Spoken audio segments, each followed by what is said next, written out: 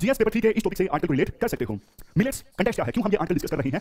देखो यूएन के द्वारा 2023 को ना इंटरनेशनल ईयर ऑफ़ मिलेट्स के रूप में डिक्लेयर किया गया है और ये यूएन ने किया इंडिया के कहने पर। तो देखो क्वेश्चन ये उठता है। इंडिया के कहने पर यूएन ने 2023 का साल इंटरनेशनल ईयर ऑफ़ मिलेट्स के रूप में डिक्लेयर किया। तो इंडिया क्या स्पेशल कर रहा है? अपने देश में मिलेट्स को प्रमोट करने के लिए। मिलेट्स जिन्हें देखो फ्यूचर क्रॉप या फिर मिरेकल ग्रेन भी कहा जाता है।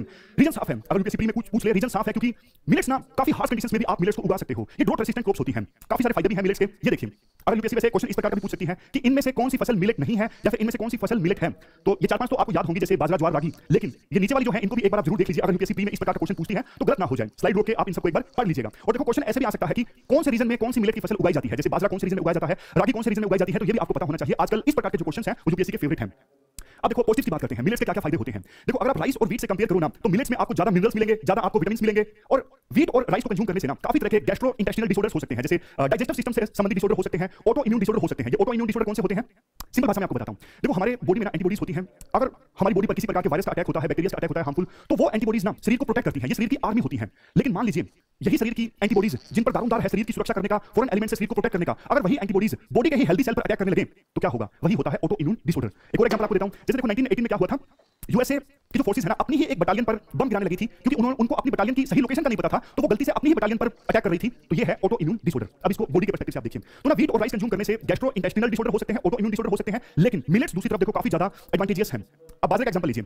वैसे देखो, अगर आप बाजरे को वीट से कंपेयर करोगे ना वीट से कह रहा हूँ मैं वीट से कंपेयर करोगे तो आयरन जिंक और प्रोटीन ये तो उतना ही मिलेगा बाजरा में जितना कि वीट में होगा। हालाँकि देखो राइस में जिंक वगैरह ये कम होते हैं वीट में हालाँकि बाजरे के कंपेरेबल है। लेकिन देखो वीट जो होता है, वो ग्लूटेन फ्री नहीं होता। यहाँ पर देखिए वीट ग्लूटेन फ्री नहीं होता, बाजरे में ज़्यादा फाइबर होता है, और एक सबसे बड़ा जो एडवांटेज है ना, बाजरे का ये है मिलेट्स का ये होता है कि ना, ज़्यादा समय लेते हैं डाइजेस्ट होने में। ज़्यादा समय लेते हैं, इसलिए हमारी जो बॉडी है, वो फुल फुल महसूस करती है। यानी भूख जल्दी नहीं लगती सिंपल भाषा में और अनेकों तरह के डिसऑर्डर से आप बच जाते हो, जो शुगर लेवल है, वो जल्दी से नहीं बढ़ता, ये फ़ायदा होता है। फ़ायदा देखो, और भी ज़्यादा है अलग अलग डायमेंशन में। आप ये देखिए हिडन हंगर माइक्रोन्यूट्रिएंट्स की कमी की वजह से ना हिडन हंगर हो जाती है। इसकी वजह से स्टंटिंग हो सकती है। ग्लोबल हंगर इंडेक्स में इंडिया का स्थान इतना कम है। बार बार एक्सपर्ट्स जो है, वो सॉल्यूशन देते हैं कि आप मिलेट्स को प्रमोट कीजिए ताकि हिडन हंगर को एड्रेस किया जा सके। ग्लोबल हंगर इंडेक्स में इंडिया का जो स्थान है, उसे इंप्रूव किया जा सके। उसके अलावा मिलेट्स जो होते हैं, वो ड्रोट रेसिस्टेंट होते हैं। कम समय लगता है मतलब मिलेट्स को उगाने से लेकर फ़सल की कटाई तक साइकिल बहुत छोटा होता है। ऑलमोस्ट सत्तर से लेकर अस्सी दिनों के बीच में। लेकिन देखो वीट और राइस को आप उगाते हो ना, आपको ज़्यादा समय लगता है। तो मिलेट्स को आप उगाओगे, हर दृष्टिकोण से ये फ़ायदेमंद होता है। मतलब केमिकल्स की आवश्यकता नहीं होती फर्टिलाइजर्स की आवश्यकता नहीं होती, कम मॉइस्चर वाले एरिया में आप इनको उगा सकते हो। लेकिन देखो, अब क्वेश्चन ये उठता है, जब मिलेट्स के इतने ज़्यादा फ़ायदे हैं तो ये बताइए मिलेट्स को हम कंज्यूम कम क्यों करते हैं और फार्मर्स इसको कम क्यों उगाते हैं? ये बहुत इंटरेस्टिंग क्वेश्चन है। अब इसका आंसर यहाँ पे है। देखो, सबसे पहली चीज़।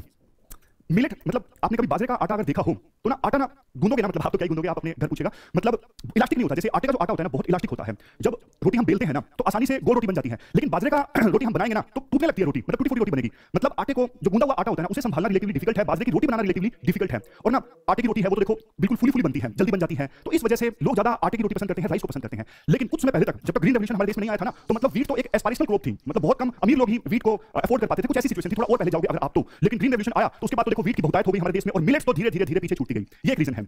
दूसरा देखो, किसान इसलिए मिलेट्स को प्रेफर नहीं करते, क्योंकि पर हेक्टेयर यील्ड जो है ना मिलेट्स की बहुत कम होती है। जैसे देखो, ये खेत है। इस खेत में आप उगाओगे राइस वीट आपको ज़्यादा उगेगा मतलब राइस ज़्यादा उगेगा, इसकी पैदावार ज़्यादा होगी, और मिलेट्स की पैदावार रिलेटिवली कम होगी। तो इस वजह से किसान ना मिलेट्स को ज़्यादा प्रेफर नहीं करते, उनको लगता है कि अगर हम वीट राइस उगाएँगे तो ज़्यादा पैदावार होगी, उसको बेच के हमारी इनकम जो है, वो ज़्यादा होगी। और इसके लिए कहीं ना कहीं सरकार भी दोषी है। सरकार इसलिए दोषी है, क्योंकि देखो, सरकार ना प्रोक्योर नहीं करती। सरकार वीट और राइस को तो प्रोक्योर करती है, लेकिन मिलेट्स को प्रोक्योर नहीं करती, जिस वजह से फार्मर्स को ना एक गारंटी महसूस नहीं होती कि हम मिलेट्स को अगर उगाएँगे तो गारंटी है कि सरकार हमारी फ़सल को परचेज करेगी ही। तो ये गारंटी जब किसान को नहीं मिलती, इस वजह से किसान जो है मिलेट्स को नहीं उगाते।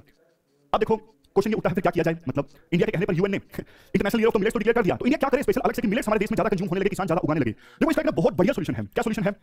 अभी देखो पीडीएस में तो आपको पता है वीट राइस डिलीवर किया जाता है। दो रुपए किलोग्राम राइस या फिर तीन तीन रुपए किलोग्राम वीट अभी तो एक जनवरी से वो फ्री भी हो गया आपने न्यूज़ पढ़ी होगी करंट अफेयर में। तो देखो, सरकार एक चीज़ ये कर सकती है। हमारे देश में ना इतने सारे स्कूल्स हैं जहाँ पर मिड डे मील स्कीम के तहत फ्री में खाना दिया जाता है। हालाँकि बच्चों का हक है फ्री कुछ नहीं होता। लेकिन बात यह है कि जो गर्म खाना बच्चों को स्कूल में दिया जाता है ना, क्यों ना उस खाने में मिलेट्स दिए जाए? कितने फ़ायदे होंगे इससे? सबसे पहली बात, अगर बच्चे देखो शुरुआत से ही मिलेट कंज्यूम करेंगे तो वो सारी चीज़ें, क्योंकि मिलेट्स में ज़्यादा विटामिन होते हैं, ज़्यादा मिनरल्स होते हैं जिंक आयोडीन फाइबर ये सब चीज़ें ज़्यादा होती हैं मिलेट्स में तो बच्चों में हिडन हंगर जैसी जो चीज़ें हैं वो दूर की जा सकती हैं। ग्लोबल हंगर इंडेक्स में जहाँ एक तरफ़ हमारा स्थान इंप्रूव होगा, और दूसरी तरफ़ दूसरी तरफ़ क्या? क्योंकि देखो mid day meal schemes mid day meal schools में और आंगनबाड़ी में मिलेट्स दिया जाएगा बच्चों को तो मिलेट्स कहाँ से आएगा?